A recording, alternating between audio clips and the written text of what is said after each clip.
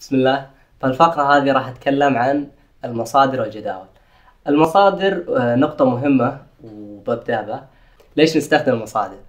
المصادر بكل بساطة راح نحتاجها بال PBL وراح نحتاجها أحيانا ال ال يعني للتعمق ببعض المواضيع اللي ما اللي ما تكون واضحة بالمحاضرات. ف وبرضه في بعض ال objectives ما راح تبان عندك المعلومة إلا إذا رجعت المصادر معتمدة. المصادر آه، في مصادر كتب وفي مصادر آه، آه، مواقع إنترنت. المصادر الكتب كل مادة تقريبا كتاب أو أكثر على حسب يعني في أحيانا فروقات بالمعلومات وزي كذا. أول شيء راح أبدأ بال anatomy. ال anatomy عندنا عندنا تقريبا أكثر من كتاب. عندنا شيء اسمه أطلس وشيء اسمه textbook. أطلس غالبا يكون صور. okay؟ ومثاله هنا فيه Netter وفي في بعض الكتب تكون أطلس وتكون برضو textbook آه، من هالنوع هذا كتاب اسمه مشهور اسمه Grant وفي textbook زي Gray's Gray's Anatomy و Snell خلصنا من ال anatomy وهو الأكثر كتب موجودة فيه. في عندنا ال histology وال histology له مصدر أو له كتاب واحد اللي هو Wheater's Wheater's هذا هو ال histology تقريبا عندنا بالكلية. حتى سلايدات الاختبارات العملي تكون آه، مستخرجة من الكتاب هذا نفسه. فهو كتاب مرة مهم لازم لازم تشترونه. ننتقل لل biochemistry ال biochemistry فيها كتابين آه، في كتاب اسمه Harper's وفي كتاب ثاني ينصحون به الدكاترة مرة ومرة مهم اللي هو اسمه Lippincott ننتقل لمادة ثانية. عندنا ال physiology. ال physiology كتاب واحد تقريبا اللي هو Guyton and Hall ومرة مشهور ومره مهم بالنسبة للفسيولوجي. ننتقل لمادة ثانية اللي هي ال microbiology. ال microbiology مو مرة واضحة يعني في مصدر لكن غالبا آه، إحنا نعتمد على آه، محاضرات الدكاترة.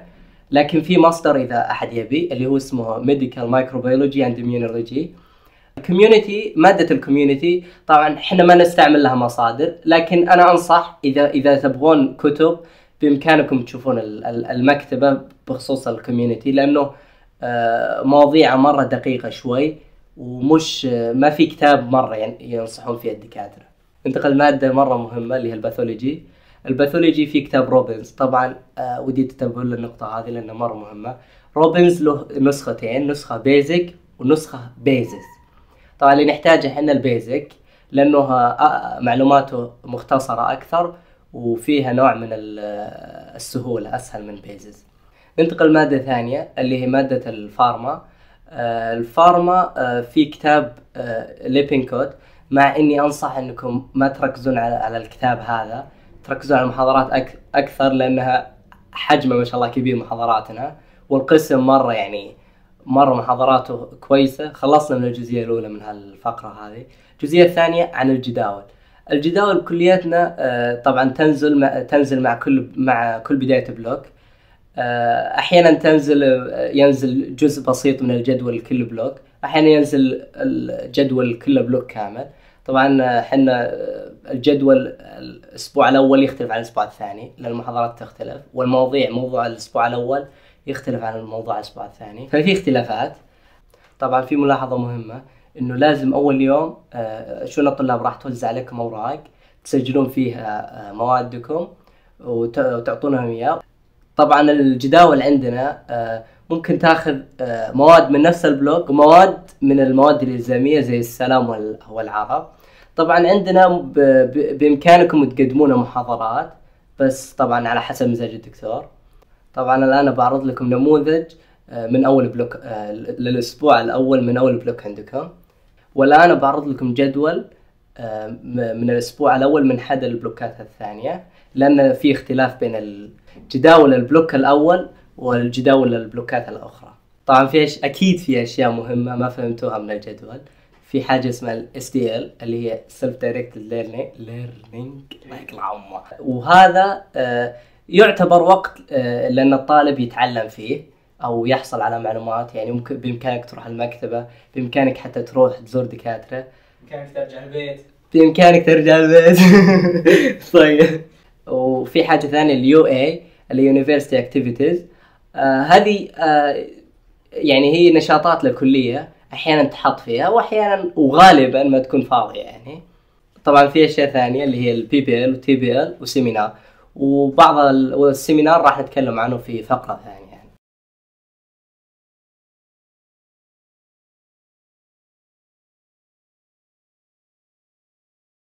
وبعرض لكم الآن صورة آه، نموذج آه، شلون الطلاب عشان لما تشوفونه مع وش أقول؟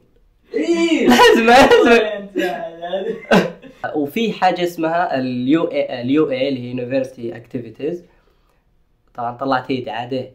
تجي لا مو عادي. أتمنى إنكم تكونوا استمتعتوا بهذا المقطع أو بهذه الفقرة. آه، إذا في أي استفسار أي سؤال آه، إحنا نرحب فيه. في أرقامنا أرقام جوالاتنا واضحة الآن أمامكم. آه، في إيميلاتنا. حياكم الله بأي وقت. في أي نقطة ما فهمتها أي سؤال ترى شباب حياكم الله. واللي حاب يتفرج على أي فقرة أخرى أو أي نقطة أخرى كل المقاطع لها لينكات خاصة موجودة تحت في الديسكريبشن وحياك الله في أي وقت. بالتوفيق شباب.